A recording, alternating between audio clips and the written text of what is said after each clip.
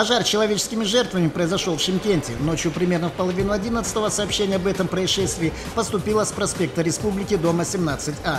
Вызывавшие жители пятиэтажки сообщили, что горит одна из квартир. По тревоге на место пожара выехали три спецавтомашины и 11 человек личного состава. По прибытию не обнаружили, что в квартире горит мебель и вещи. Дым охватил весь подъезд многоэтажки, людей пришлось эвакуировать. Всего эвакуировано было 28 человек, в том числе дети.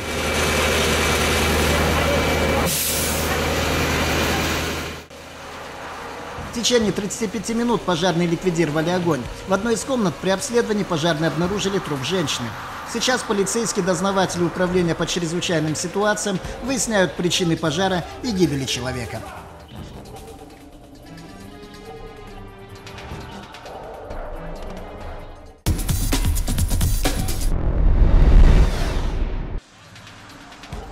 Вечером примерно 8 часов авария произошла на пересечении улицы Рискулова и Шаяхметова. Здесь столкнулись автомашины «Шкода Октавия» и ВАЗ-2199.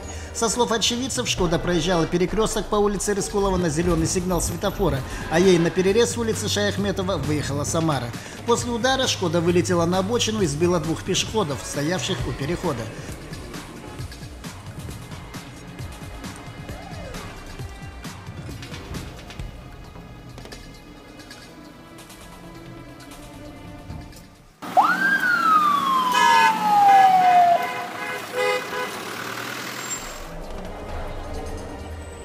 Результате один из пешеходов получил серьезные травмы и был госпитализирован в больницу скорой медицинской помощи. Сейчас полицейские выясняют, кто виновен в этом происшествии.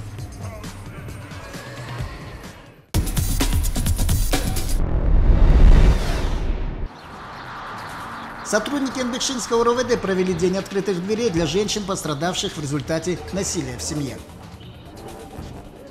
Главная цель этого мероприятия – предотвратить случаи насилия в семье. Для этого мы принимаем женщин и ведем профилактическую беседу с теми, кто притесняет женщин. Как оказалось, не все знают о законе, защищающем женщин от домашнего насилия. Эта посетительница, не раз страдавшая от рук мужа, лишь недавно узнала, что закон стоит на ее стороне. Вчера муж пришел домой в пьяном виде,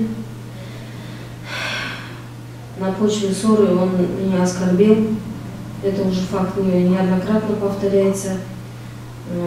Раньше я не знала, что существует такой закон о профилактике бытового насилия. Вот. Мне про это сказали участковые, я написала заявление.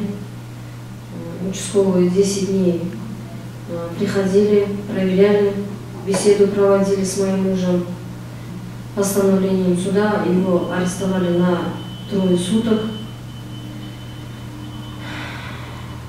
Вроде бы с каждым разом налаж, налаживается отношение.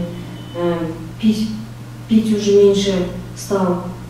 Э, но, повторяется, иногда пьет выпивший. Как говорят полицейские, профилактическими беседами закон не ограничивается. В случае систематического истязания детей и супруги мужчина может быть и осужден к лишению свободы.